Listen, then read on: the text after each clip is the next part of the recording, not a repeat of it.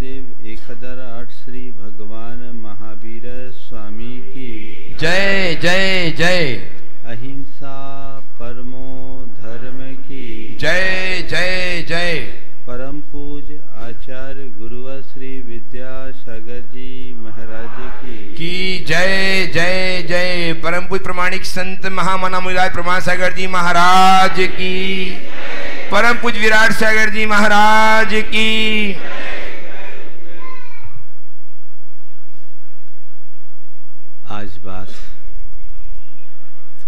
प्रभावना की।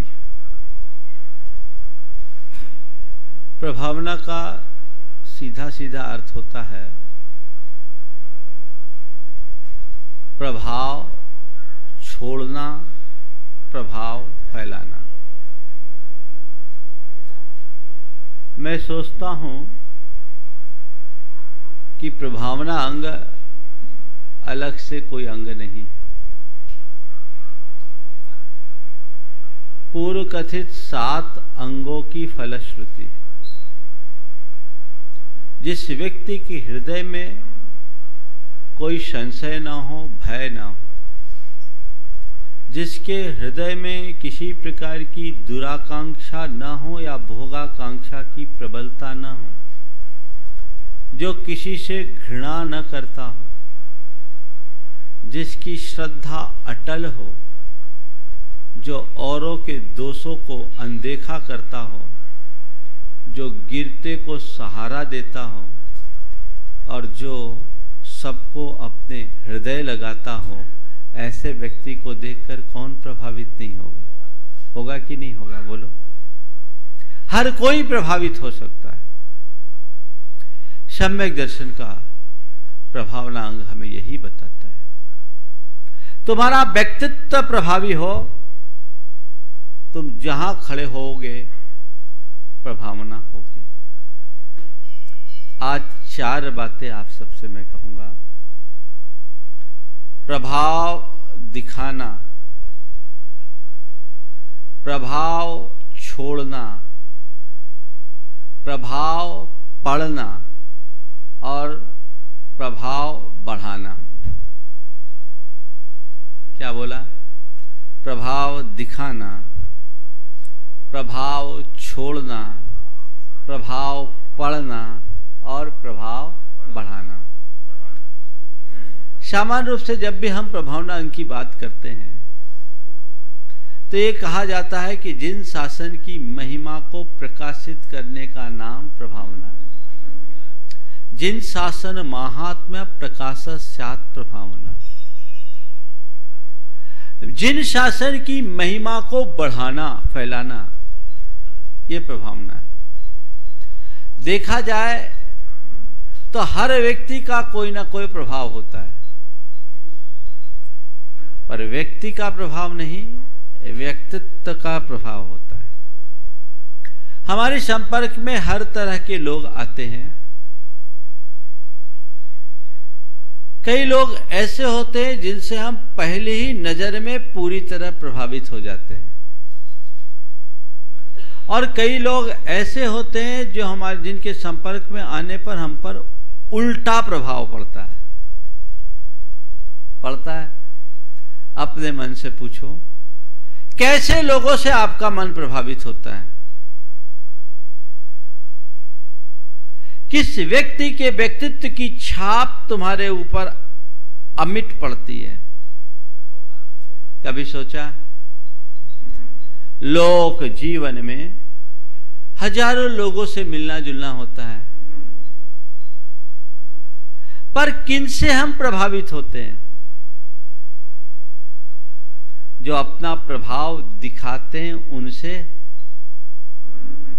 या जिनके व्यक्तित्व में कुछ प्रभाव होता है उनसे? क्या हुआ? समझ में आ रही बात? जो व्यक्ति अपना प्रभाव दिखाना या प्रभाव जताना चाहता है, उनके प्रति हमारी क्या मानसिकता होती है? हा? क्या टिप्पणी करते हो? बड़ा रुआब झाड़ने वाला आदमी है। हाँ? हाँ। बड़ा रुआब दिखाने वाला व्यक्ति है। बहुत अपने आप को बड़ा मानता है, तीस मार खां समझता है। या ज़्यादा कहेंगे तो कहेंगे, बड़ा अहंकारी है। रुतबा जता रहा है। और आगे बढ़ गए, थोड़े संस्कारित शब्दों में कहेंगे तो कहेंगे, हवा में उड़ रहा है। हवा में उड़ने वाला व्यक्ति है। और आप उस व्यक्ति की बात को भी हवा में ही उड़ा देते हो। जो व्यक्ति प्रभाव दिखाता है, उसका हम पर प्रभाव नहीं पड़ता। लेकिन जो प्रभावक होता है, उसका प्रभाव अमित पड़ता है। हमें सोचने की ज़रूरत नहीं, वो जहाँ भी रहता है, प्रभाव छोड़ कर जाता है। अपने व्यक्तित्व को तला, झाँक कर देखो। तुम कहाँ हो? प्रभाव दिखाने वालों में या प्रभाव छोड़ने वालों में? तुम्हारा स्थान कहाँ है? जब कभी बात करते तो औरों के संदर्भ में तो तुम्हारी दृष्टि दौड़ जाती है कि ये प्रभाव दिखाने वाला है या प्रभाव छोड़ने वाला है। पर भैया, उसमें तुम भी तो हो। तुम कहाँ हो? बोलो, तुम्हारी तैयारी क्या है? मेरा प्रभाव दिखे या मेरा प्रभाव पड़े? हा? ईमानदारी से बोलना। है ना? प्रभाव कब पड़ेगा? जब हम अच्छे दिखेंगे तब या अच्छे बनेंगे तब? तुम्हारी तैयारी क्या है? अच्छा दिखने की या अच्छा बनने की? ईमानदारी से बोलना। समझ रहे? ये बोल रहे, फंसा रहे? फंस तो गए तुम 25 वर्ष पहले, हम क्या फंसाएँगे? है ना? हाँ फंसे फंसाए को क्या फंसाए? समझो अपने आप को अपना अंतर विश्लेषण करके देखो कि मेरी तैयारी क्या है। मेरा लुक अच्छा हो, इसकी कोशिश तुम रोज करते हो, पर मेरी लाइफ अच्छी हो, ऐसा प्रयास कभी तुमने किया? ऐसी सोच तुम्हारी हुई? रोज दर्पण के सामने खड़े होते और देखते हो मैं अच्छा दिख रहा हूँ या नहीं? पर उस समय मन में यह सवाल आता है, मैं अच्छा हूँ या नहीं? विचार करने की बात है। मैं अच्छा दिखूं या ना दिखूं यह उतना महत्वपूर्ण नहीं है। मैं अच्छा हूँ या नहीं यह सबसे महत्वपूर्ण है। मेरी कोशिश अच्छा दिखने की जगह अच्छा बनने की होनी चाहिए। क्या है? चार परिस्थिति, मानसिकता है। अच्छा दिखूं अच्छा पाऊँ अच्छा करूँ और अच्छा बनूं। अच्छा दिखूं, सब चाहते हैं। चाहते हैं ना? सुबह से सच संवर कर आओगे। शायद ही कोई व्यक्ति इस सभा में बैठा हो जो दर्पण न देखता हो। है ना? अच्छा दिखूं, ये तुम्हारी कोशिश है। मुझे कोई बुरा आपत्ति भी नहीं है। ठीक है, तुम बहुत अच्छे दिखो। लेकिन केवल बाहर से नहीं, भीतर से भी। अभी तुम लोगों की दशा कैसी है बताऊँ? बता दूँ? सबकी फ़ोटो टॉप क्लास की है।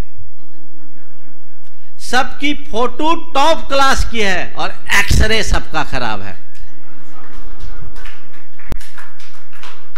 है ना? क्या बात है? है ना? अब सोच लो, जिसकी फ़ोटो खूबसूरत हो और एक्सरे खराब हो, उसका क्या हाल होगा? क्या हाल होगा? वो कहाँ रहेगा? है ना खतरे की घंटी? ईमानदारी से बोलो, कभी एक्सरे खराब होता है तो तुम क्या करते हो? चैन से बैठते हो या फटाफट डॉक्टर की सलाह लेकर अपनी चिकित्सा में जुटते हो? जुटते हो। जब तुम्हें बताया जा रहा है प्रिस्क्रिप्शन में और सारी जाँच की रिपोर्ट बता रहे एक्सरे खराब है तो अपना इलाज क्यों नहीं कराते? कोई नहीं, प्रिस्क्रिप्शन लेके घूम रहे हैं। हमारा डायग्नोसिस हो गया, बहुत टॉप के डॉक्टर से मुश्किल से अपॉइंटमेंट मिला। रोग भी पकड़ में आ गया। अब हम ठीक हो जाएँगे। है ना? प्रिस्क्रिप्शन लेके घूमने वाले ठीक होंगे। आज तक की दशा तुम्हारी यही है। इसीलिए जीवन का जैसा सुधार अपेक्षित है, वह नहीं हो पाया। अच्छा दिखूं ये कोशिश सबकी होती है। अच्छा दिखने का कुछ प्रभाव भी पड़ता है। पर कितनी देर? एक पल का। किसी व्यक्ति का बाहरी आकर्षण हमें कुछ पल के लिए प्रभावित करता है और उसका भीतरी व्यक्तित्व हमें उसका कायल बना देता है। तुम्हारी जो पर्सनालिटी है, उसमें तुम्हारे रूप की भूमिका ज़्यादा से ज़्यादा 10 से 15 प्रतिशत होगी। बस उससे ज़्यादा नहीं। तुम कितने अच्छे दिखते हो, तुम्हारा कितना ही अच्छा स्टेटस हो।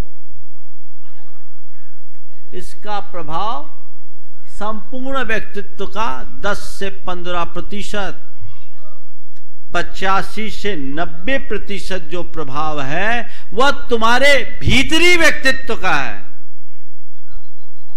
उस व्यक्तित्व को निखारो। दुनिया में ऐसे अनेक लोग हैं जिनके पास कोई रूप नहीं।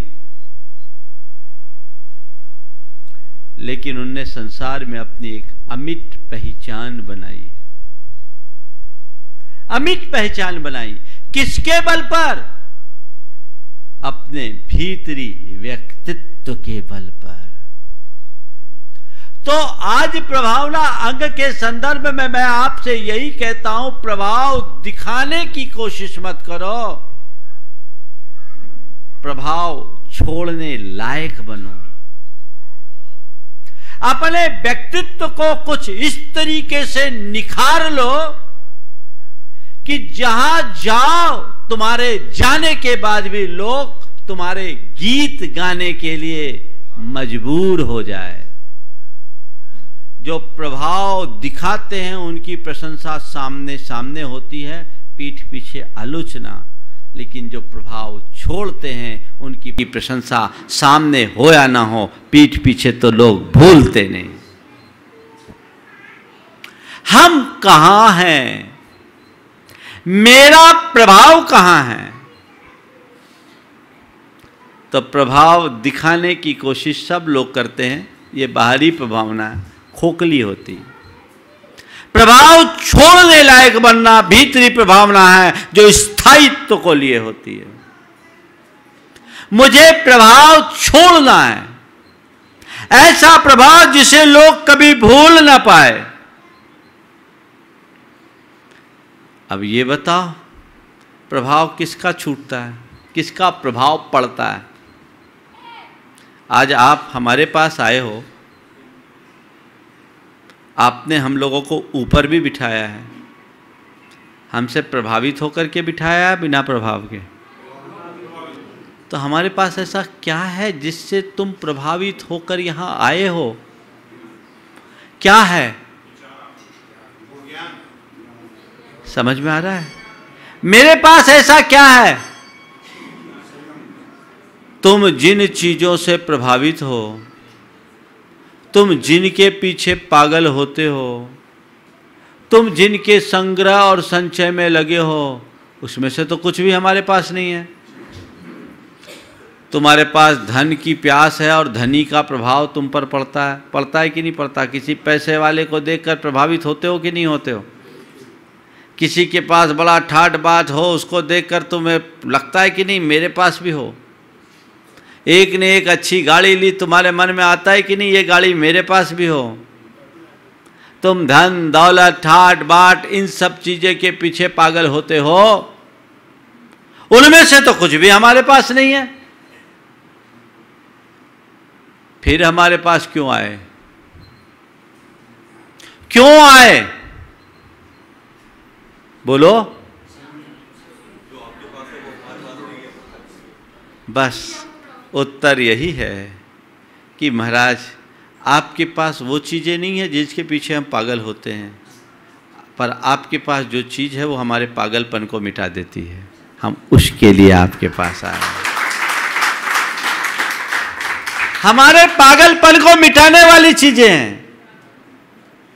आपके पास आपका चरित्र बल है, आपके पास धन वैभव नहीं, गुण वैभव है, जो हमें एक अच्छी प्रेरणा देता है, इसलिए हम आए हाँ महाराज, जब हम अपने से बड़े धनी मानी को देखते हैं तो उसका प्रभाव हमारे अंदर ईर्ष्या को जगाता है। और आप जैसे संतों को देखते हैं तो आपका प्रभाव हमारे हृदय में भक्ति और पवित्रता को जगाता है। ये अंतर है। यही कारण है कि हम धनी मानी व्यक्ति के पीछे पड़ते हैं, और आप जैसे संतों के पीछे चलते हैं, पीछे लगते हैं। अंतर है ना प्रभाव का? किसी के पीछे पड़ना और किसी के पीछे चलना। अंतर समझ में आ रहा है? तुम पीछे पड़ोगे, उसे ढकेल दोगे, गड्ढे में गिराओगे। और कोशिश यही है, जिससे तुम थोड़े बहुत प्रभावित होते हो।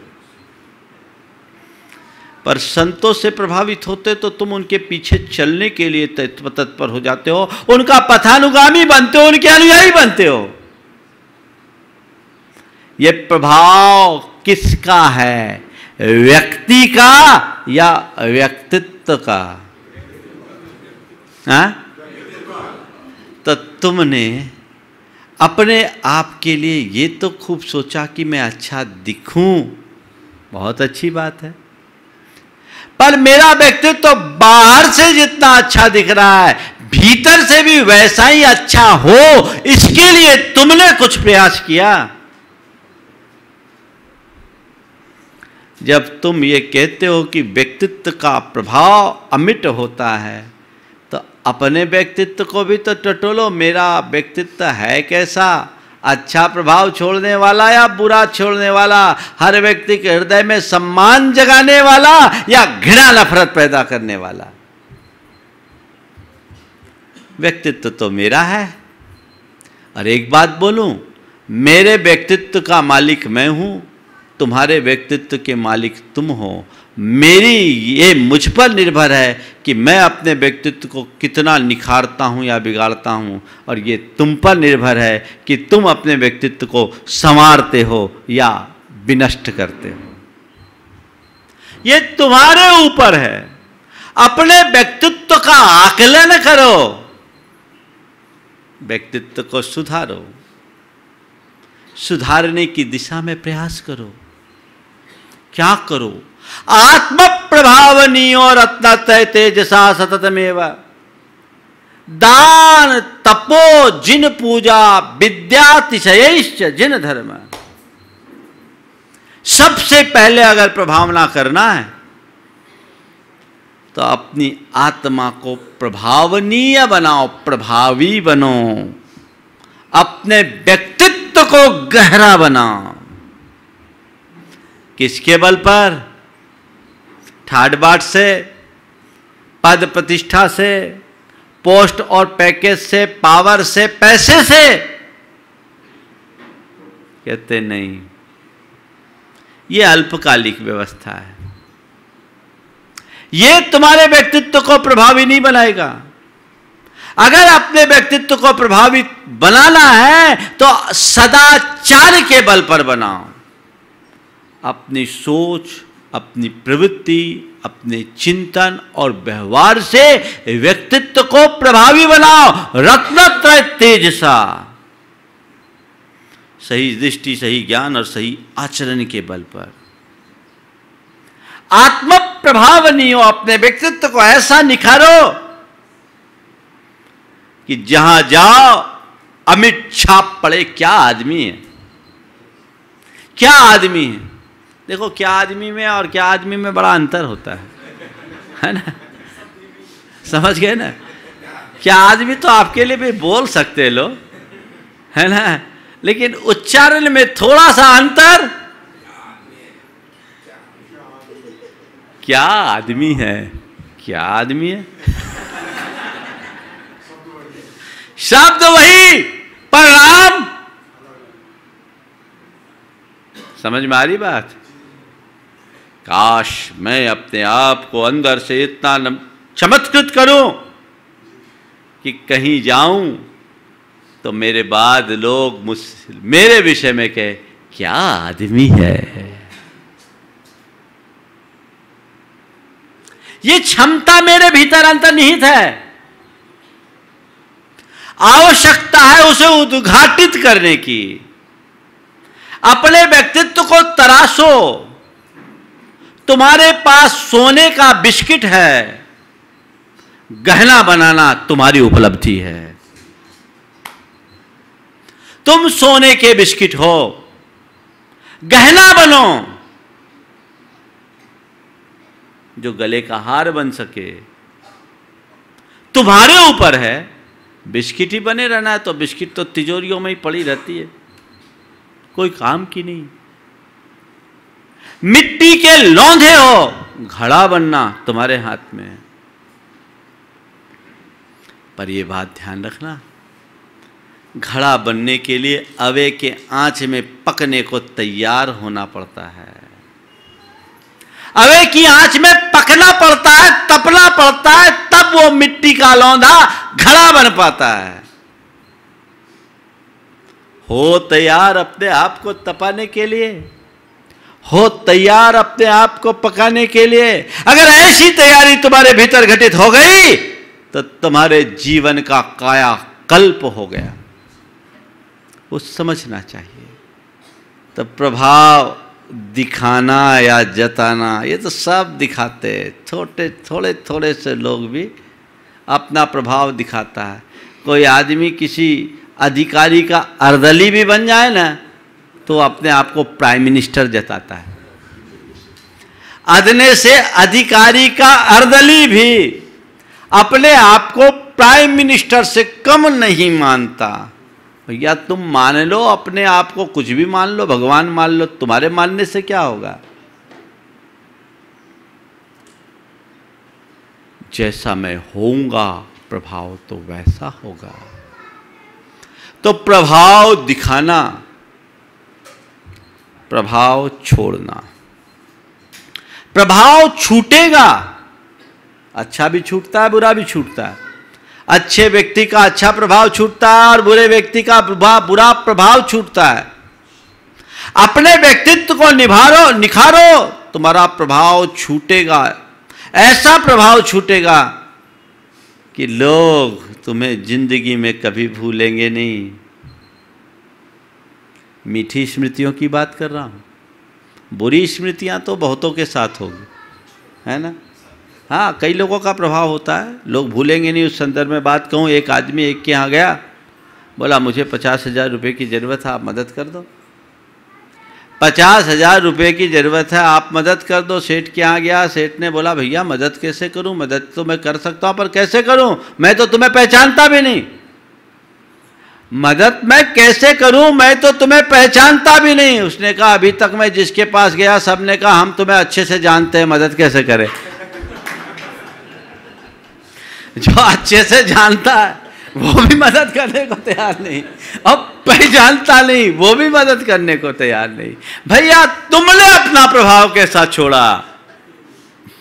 बोलो, मीठी स्मृतियाँ हैं या खोटी? अच्छा प्रभाव छोड़ने के लिए अपने व्यक्तित्व को निखारना होगा। अपने आचार, विचार और व्यवहार में वह बातें उतारनी होगी। हम अपने अतीत को पलट करके देखें। तो जैन समाज की एक अलग गुडविल थी। हमने बुज़ुर्गों से सुना है कि किसी केस में, किसी मुकदमे में जैनी अगर जाता तो उसे अलग से कसम खाने की ज़रूरत नहीं पड़ती थी। उसका जैन हूँ यह कह देना पर्याप्त रहता था। है ना? आपने भी सुना होगा। मुझसे भी बुज़ुर्ग लोग बैठे क्यों दादा? ऐसा सुना आपने? कि जैनी को कसम खाने की ज़रूरत नहीं पड़ती थी। मैं जैन हूँ यह कह देना मात्र पर्याप्त रहता था। इसका मतलब तब जैन इतने चरित्र निष्ठ होते थे, इतने चरित्र निष्ठ होते थे, कि उनको, उनके बारे में जैनी और असत्य एक दूसरे के विरोधी थे, ये लोक में प्रसिद्ध था। जैनी झूठ बोल नहीं सकता। और आज, हमारा तो सब चलता है। है ना? और कोई व्यक्ति गलती करे, ये उसकी व्यवस्था हो सकती है, वो उसकी मजबूरी हो सकती है, परिस्थिति से पीड़ित होकर के करे। उसने तक को मैं उतना बुरा नहीं समझता, जितना कि गलती करके गौरवान्वित होने वाले को करता हूँ। आज लोग गलती नहीं कर रहे हैं, गलती करके गौरवान्वित हो रहे हैं। अरे! मेरे जैसा तो कोई आदमी नहीं है, सारा तिकड़म मेरे पास है। मैं सब कुछ करने में सक्षम हूँ, उल्टे सीधे। तो व्यक्तित्व कैसे निखरेगा? अगर आप चाहते हैं कि मेरे, मेरा अच्छा प्रभाव छूटे तो अपने आप को भीतर से तपाइए, निखारिए, सुधारिए। अपना आचरण ठीक कीजिए। अब कहाँ प्रभावना होगी? हमारे समाज के जितने भी संभ्रांत लोग हैं, जिन्हें समाज के आइकॉन के रूप में जाना जाता है, वे ही लोग ऐसे अनाचार और कदाचारों में लिप्त हो गए, जिनसे जैन धर्म की धज्जियाँ उड़ती है। बोलो, इसका क्या प्रभाव होगा?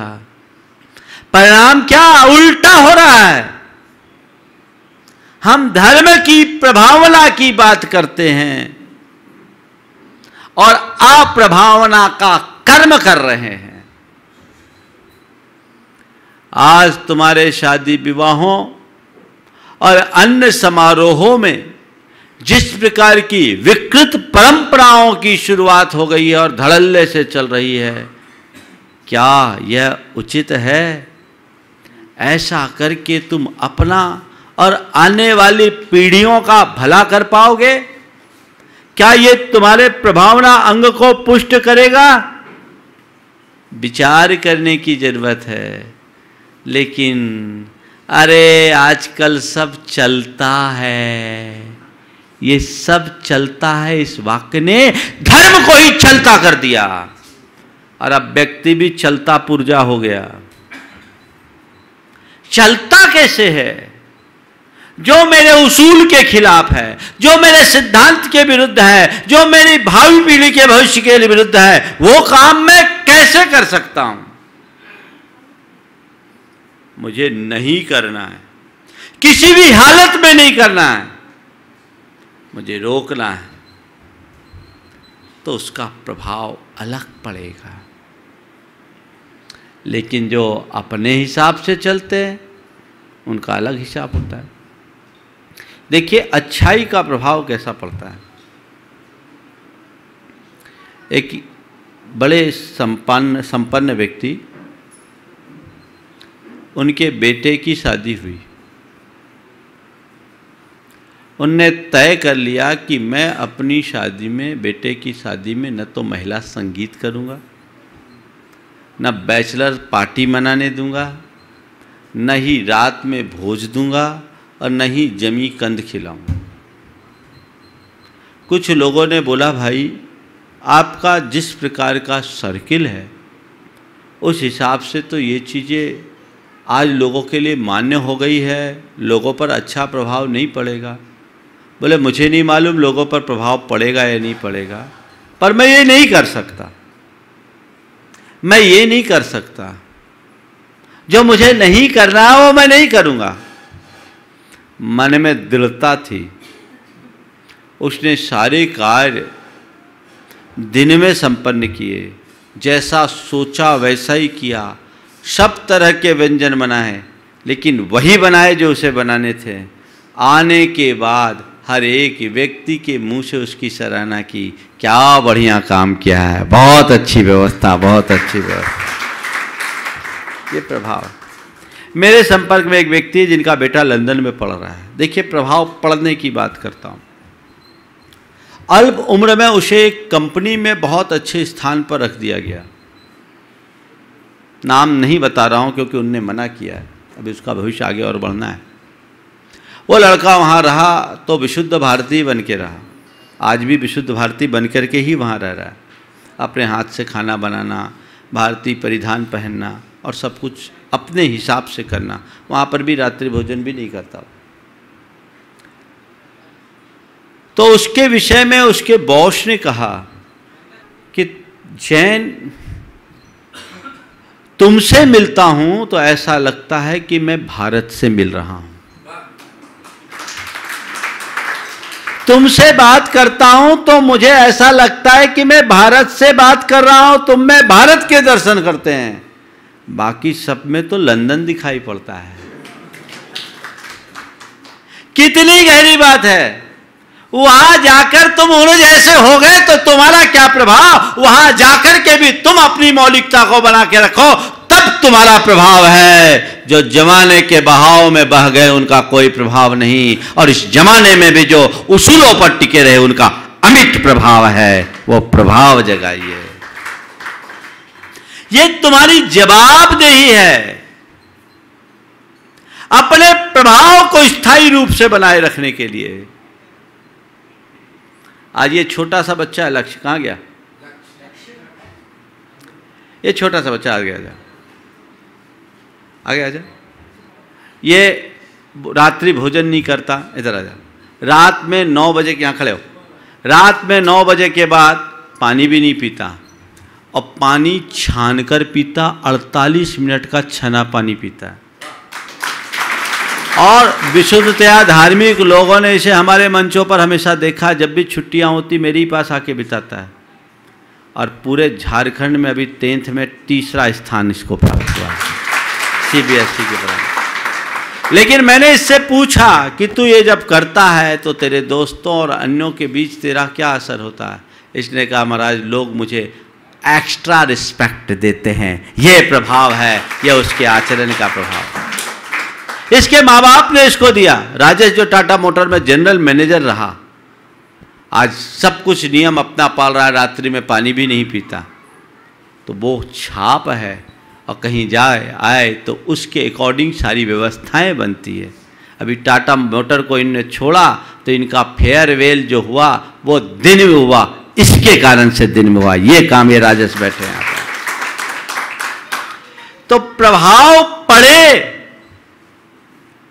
तब जब तुम प्रभाव छोड़ने लायक व्यक्तित्व बनाओ, तब उसूलों में दृढ़ रहो, सिद्धांतों में दृढ़ रहो, अपने मूल्यों और आदर्शों की कतई उपेक्षा मत करो। तब तुम्हारा जीवन प्रभावी बनेगा। नहीं तो बस ऊपर की चमक दमक है, भीतर तो आजकल के लोगों की दशा उस लाठी की तरह दिखती है, जो ऊपर से खूब रंगी पूती है, पर भीतर से दीमकों ने खोखली कर रखा है। वो लाठी लाठी लुभावनी तो है, पर सहारा नहीं बन सकती। खोखली लाठी है। मज़बूत बनो अंदर से मज़बूत बनाओ, अपने आप को स्ट्रांग बनाओ। तो तुम जहाँ भी जाओगे, तुम्हारा ज़बरदस्त प्रभाव छूटेगा। क्या आदमी है। ये प्रभाव छूटना चाहिए। छोड़ के आओगे, सामने वाले के ऊपर वैसा ही प्रभाव पड़ेगा। तब प्रभाव दिखाना कोई बड़ी बात नहीं है। प्रभाव छोड़ना अच्छा प्रभाव छोड़ोगे अच्छा प्रभाव पड़ेगा। और इस बात का हमेशा ख्याल रखो कि जो कुछ मैं कर रहा हूँ, उसका प्रभाव निज पर पर क्या पड़ रहा है? तो अंतर होगा। तो अच्छा दिखूं, प्रभाव छोड़ने के लिए क्या करना है? अच्छा दिखूं, इससे प्रभाव छूटेगा? नहीं। अच्छा पाऊँ, इससे प्रभाव छूटेगा? नहीं छूटेगा? अच्छा करूँ, इससे प्रभाव छूटेगा? छूटेगा, पर पूरा नहीं। अच्छा दिखने से प्रभाव थोड़ा अच्छा पाने से प्रभाव कुछ ज़्यादा अच्छा करने से प्रभाव कुछ और ज़्यादा, पर अच्छा बनने का प्रभाव सबसे ज़्यादा। क्या करना अच्छा बनना है। कोई ज़रूरी नहीं कि जो अच्छा करे वो अच्छा बने भी। दुनिया में बहुत सफ़ेद पोष है। जो अच्छा करते हुए दिखाते हैं पर भीतर उनकी क्या दशा होती दुनिया जानती है, जब बड़े बड़े स्कैंडल होते हैं, उसमें वही लिप्त मिलते हैं। बड़े बड़े स्कैम होते हैं, उसमें वही उन्हीं की संलिप्तता होती है। होती है कि नहीं? तो अच्छा करने वाला अच्छा हो। सुरेंद्र भाई, ऐसे बहम में मत रहना। मुझसे जब लोग कहते महाराज, ये बहुत अच्छा करते हैं। मुझे अच्छा तो लगता है। पर मैं उसके अंदर घुसने की कोशिश करता हूँ। और भावना भाता हूँ, ये जितना अच्छा करे, उतना अच्छा बन भी जाए तो जीवन धन्य हो जाए। मुझे अच्छा करने के साथ अच्छा बनने का प्रयास करना है। व्यक्तित्व को भीतर से निखारना है। अपने चरित्र बल को ऊँचा उठाना है। अगर मैं ऐसा करूँगा तो मेरा जीवन धन्य हो जाएगा। तो अब ये हो गया, मैं अच्छा बन गया, मेरा अच्छा प्रभाव पड़ने लगा, मैं अच्छा प्रभाव छोड़ने लगा। तो इतने तक सीमित होना नहीं। अब प्रभाव बढ़ाना है तो उसके लिए क्या करना है?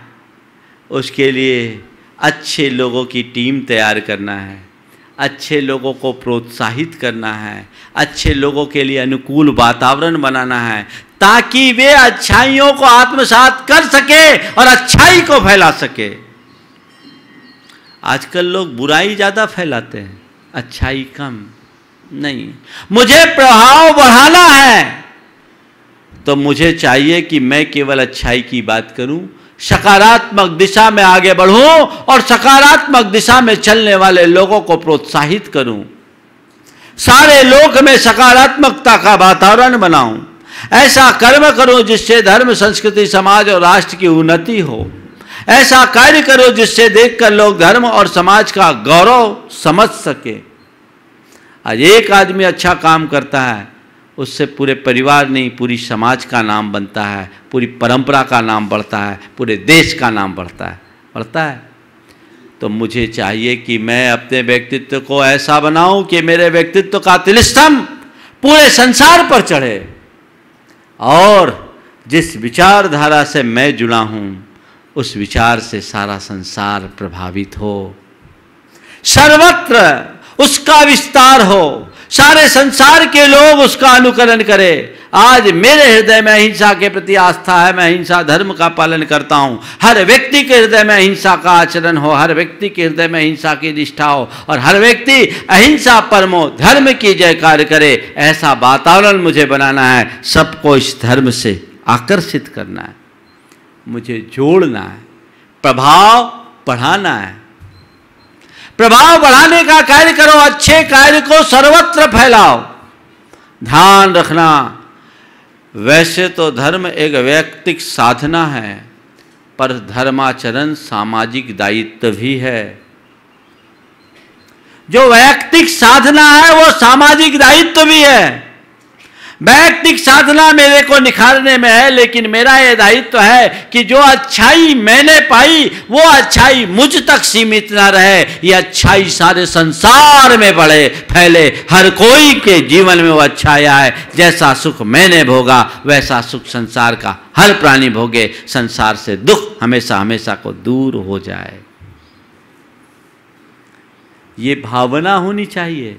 और इसी उत्कट भावना का नाम प्रभावना है। मेरी यह जवाबदारी अरे हमें क्या करना, हम तो अपने तक रहे नहीं। फैलाओ ये प्रभावना है। रोज आप लोग प्रवचन सुनते हो। यहाँ बैठे तो रोज 200-250 लोग रहते हैं। लेकिन इस विचार से प्रभावित होकर कितने लोगों का जीवन परिवर्तित हुआ? मुझसे एक ने बोला, महाराज जी, इतनी गर्मी में भी आप रोज प्रवचन कर रहे हैं। बोले, भैया, ठीक है। बात सही है, गर्मी है। गर्मी में रोज प्रवचन कर रहे हैं, पर मेरे प्रवचन से लोगों की गर्मी उतर जाए तो मुझे कोई फ़र्ज़ नहीं। मैं प्रवचन करता हूँ। इसीलिए करता कोई ज़रूरी नहीं कि मैं यहाँ प्रवचन करूँ। लेकिन मैं ये सोचता हूँ कि चलो भाई, अगर एक व्यक्ति का भी जीवन बदलता है तो इस संसार का बोझ कुछ कम होगा। हमें संसार के बोझ को कम करना है। जीवन बदलता है। हज़ारों लाखों लोग रोज इस प्रवचन को सुनने के लिए तत्पर रहते हैं। सुबह से लोग बोलते हैं, महाराज, कब साढ़े आठ बजे हम टीवी खोलते हैं? और सोचते हैं कि आज क्या मार्गदर्शन मिलेगा। बहुत सारे लोग सुनते हैं और बहुतों के जीवन में सुन करके परिवर्तन भी घटित हुआ। ये प्रभावना ही तो है। तो प्रभाव बढ़ाने का ये कर्म है। मैं कर रहा हूँ। लेकिन मुझसे भी ज़्यादा वे लोग कर रहे हैं जो इस प्रभावना को फैलाने के लिए अपना योगदान दे रहे हैं, जिनके द्रव्य दान से आप तक ये बात पहुँच रही है। उनका सहयोग। हर महीने एक एक परिवार जुड़ता है। तीनों टाइम आपको मिलता है। कभी उनके प्रति कृतज्ञता का भाव तुम्हारे मन में आया? कभी महीने की पहली तारीख में जब आपने नया नाम देखा, उनको फ़ोन करने का मनोभाव हुआ कि फ़ोन करके एक बार धन्यवाद दे दूँ कि बहुत बहुत आभारी हैं। आपके कारण हमारे घर में गुरु वाणी आ रही है, वो वाणी जिससे हमारा जीवन बदल रहा है। तुम्हारे पास पर्याप्त धन है। खूब पैसा खर्चते हो उधर उधर के काम में। कभी तुम्हारे मन में आया, इतने सालों से देख रहा हूँ, एक महीना मैं भी चला दूँ। मैं भी अपना कुछ योगदान दूँ। जो सच्चा धर्मात्मा होता है उसका हृदय ऐसे ही कार्यों में उलसित रहता है। मेरा कंट्रीब्यूशन होना चाहिए, मेरी भागीदारी होनी चाहिए। ये चिनवानी चैनल पारस चैनल जो सारे संसार को तत्व ज्ञान परोस रहे हैं ये प्रमाणिक ऐप के माध्यम से देश विदेश में लोग लाभ ले रहे हैं। इनको कभी धन्यवाद देने का मन हुआ? इन कार्यकर्ताओं को धन्यवाद देने का मन हुआ? जो घर परिवार छोड़ करके रोज तुम तक ये बात पहुँचा रहे हैं, ये प्रभाव बढ़ाने का ही तो काम है। और इससे प्रभाव बढ़ा है। अपार प्रभाव बढ़ा है। लाखों लोग अपना जीवन बदल रहे हैं। उनमें जितने जैन हैं, उससे ज़्यादा वे लोग हैं जो जन्म से नहीं, कर्म से जैन बने हुए हैं। हमें उनका स्वागत करना हमें इसका विस्तार करना है। आज जैन धर्म में वो ताकत है जो जन्म धर्म बन सके। और इंफॉर्मेशन और टेक्नोलॉजी के इस युग में, संचार क्रांति के इस दौर में हमें चाहिए कि हम धर्म को इस तरीके से व्याख्यायित करें। ताकि सारे संसार के लोग अपने आप को रूपांतरित कर सके और ये जैन धर्म जन जन का धर्म बन सके, लोग उसे आत्मसात कर सके। ये विडम्बना है कि दुनिया के थोड़े से हिस्से में ही जैन धर्म के लोग सीमित है और बहुत थोड़े से लोग ही जैन धर्म को भारत के एक प्राचीनतम जैन धर्म के रूप में जानते हैं। उसके मूलभूत तत्वों से अवगत ही नहीं है। यदि अवगत हो जाए तो आज ही उनका जीवन बदल जाए। तो तुम्हारा ये दायित्व है प्रभाव बढ़ाने के लिए कुछ काम करो। हर व्यक्ति को चाहिए कि अपने आचरण से, अपने व्यवहार से धर्म प्रभावना का कार्य करे। जैसा मैंने कहा, आत्म प्रभावनी और रत्न तय तेज सा सतत में वह। प्रभाव छोड़ने और प्रभाव पड़ने की बात तो तुम्हारे रत्नत्र से होगी, लेकिन प्रभाव बढ़ाना है तो दान, तपो जिन पूजा, विद्यातिशेष जिन धर्म। दान के बल पर धर्म की प्रभावना करो, तपस्या के बल पर धर्म की प्रभावना करो बड़े बड़े पूजा पाठ आदि के महानुष्ठान से धर्म की प्रभावना करो और अपने ज्ञान के प्रभाव से धर्म की प्रभावना करो। लोगों तक इसे फैलाओ। सब तक ये फैल जाना चाहिए, कोई वंचित नहीं रहना चाहिए। ये प्रयास हो तो बहुत फ़र्क पड़ता है। हमें युगानुरूप प्रयास करना चाहिए। हमारे महान महान आचार्यों, मुनियों ने और समय समय पर श्रावकों ने धर्म प्रभावना के हित में बड़े बड़े कार्य किए। उसके कारण आज हमारे पास ये धर्म का तत्व प्राप्त हुआ है। हमें चाहिए कि इस तत्व को हम दिग, दिगंत तक फैलाएँ और युग युगांतरों तक ये धारा बहती रहे, इसकी व्यवस्था सुनिश्चित करें। ये हमारी जवाबदेही है। जो भी उपक्रम हो, जो भी प्रयास हो, जिस तरह का हो, उसके लिए हमें काम करना। आज हमारे गुरुदेव जैन धर्म की युगांतकारी प्रभावना कर रहे हैं। आज हमारे गुरुदेव को ये श्रेय जाता है जो उन्होंने धर्म एक जैन संत होने के बाद, एक दिगंबर संत होने के साथ साथ लोकोपकारी कार्य को आगे लेकर के पूरे विश्व में जैन धर्म और जैन समाज को एक नई पहचान प्रदान की है। ये श्रेय उनको जाता नहीं तो पहले तो लोग जैन धर्म को एक बड़ा कठोर धर्म और जैनियों को पूंजीपतियों का समूह मानते थे। आज गुरुदेव की कृपा से ये बात प्रकट हुई कि नहीं, जैन लोग बड़े सरलतम होते हैं, सहज होते हैं और धर्म, संस्कृति और राष्ट्र के उत्थान के लिए, अपना सर्वस्व अर्पित करने के लिए तत्पर रहते हैं। ये प्रयास है उनका। हमारा भी एक छोटा सा प्रयास ही चाहिए, लेकिन होना चाहिए। प्रभाव बढ़ाने के उपक्रम में जो संभव है, वो करना चाहिए। हम लोग वही कर रहे हैं। अगर तुम अंधेरे से जूझते रहे और तुम्हें उजाला मिला तो संकल्प लो। अब हम अंधेरा का अस्तित्व ही नहीं बचने देंगे। दिया इस तरह जलाएँगे जो कभी अंधेरा पास ही ना आए, ये दिया कभी बुझने ना पाए। अभी तक हम अज्ञान अंधकार में थे, अब मुझे ज्ञान का प्रकाश मिला। ये प्रकाश सब तरफ़ फैले। ये प्रयास तुम्हारा होना चाहिए। आजकल लोग वैयक्तिक धर्म के प्रति तो फिर भी उल्लसित होते हैं, लेकिन अपने सामुदायिक कर्तव्यों की वो घोर उपेक्षा कर देते हैं। ऐसे काम नहीं चलेगा, आने वाली पीढ़ियों को हम क्या सौंप रहे हैं? हमारी ये जवाबदही है, आज तुम सक्षम हो, तुम्हारे पास समय है, शक्ति है, संसाधन है। श्रम करो और इस पूरी की पूरी धर्म की परिपाटी को आगे बढ़ाने का उपक्रम करो, ताकि प्रभाव बढ़े। सर्वत्र धर्म का ही प्रभाव बढ़े। हम तो कहते हैं, घर घर चर्चा रहे धर्म की, दुष्कृति दुष्कर हो जाए। ये प्रभावना की भावना है। शुरुआत कीजिए। अपने आचरण से, अपने व्यवहार से तो बहुत बड़ा बदलाव घटित होगा। हमें उस दिशा में चलना है। आज की नई पीढ़ी के संस्कार ही खत्म हो रहे। उनकी शिक्षा बिल्कुल उल्टी हो गई। आज विदेशी संस्कृति हम पर हावी हो गई। उनकी चाल कुछ ऐसी हो गई जिसने उनने हमारी भाषा पर, हमारी भूषा पर, हमारे भोजन पर और हमारी भावना पर आक्रमण करके सबको बदल दिया। आज हमारी भाषा बदल गई, हमारी भूषा बदल गई, तुम्हारा भोजन बदल गया और तुम्हारी भावना भी बदल गई। वापस निष्ठा जगाने की ज़रूरत है। जो तुम्हारी भाषा को, तुम्हारी भूषा को, तुम्हारी भोजन को और तुम्हारे तुम्हारे भोजन और तुम्हारी भावना को तुम्हारे अनुकूल बना सके। आज सब उल्टा हो रहा है। भारतीय बीज को विदेशी खाद मिल रहा है। साफ़ गड़बड़ हो रहा है, बंटाधार हो रहा है। शिक्षा दीक्षा की व्यवस्थाएँ बिल्कुल उल्टी हो गई। कल ब्रह्मचारी जी ने कहा, हम लोग गुरुकुल चला रहे हैं। हमें उस प्रणाली को पुनर्जीवित करनी की कोशिश करनी चाहिए। बहुत सारी चुनौतियाँ हमारे सामने हैं। लेकिन ऐसा नहीं है कि हम उन चुनौतियों का सामना न कर सकें। अगर समय रहते हम ऐसा करेंगे तो समाज में बहुत बड़ा परिवर्तन होगा। आज सबसे बड़ी चुनौती यदि हमारे सामने है तो सांस्कृतिक मूल्यों के क्षरण की चुनौती। जब तक हम उसके प्रति सावधान नहीं होंगे, तब तक सच्चे अर्थों में धर्म की प्रभावना नहीं हो सकती। वो धर्म की प्रभावना हो, हम उस दिशा में आगे बढ़े, ऐसा प्रयास करना चाहिए। आज देवोदय महासंघ की कार्यकारिणी हमारे पास आई।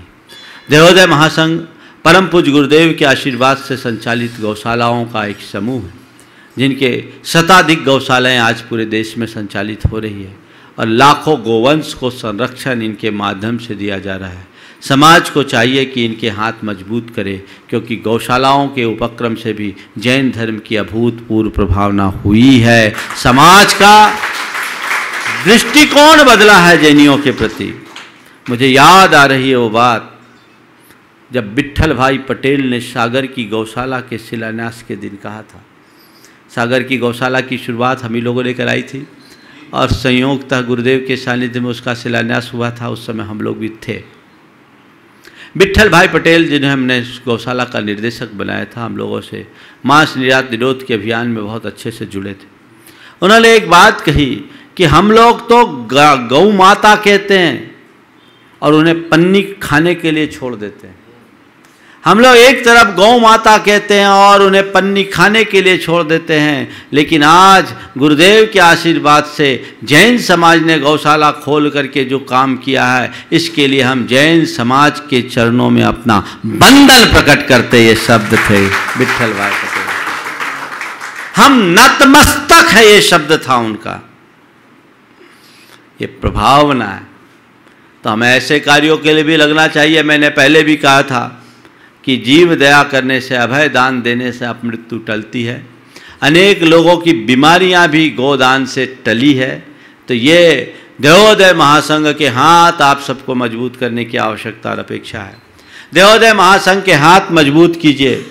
उन्हें मजबूती प्रदान कीजिए ताकि हम इस कार्य को और आगे बढ़ा सके। गौशालाओं के सामने बहुत सारी समस्याएँ और चुनौतियाँ हैं, लेकिन हमारी समाज सक्षम है।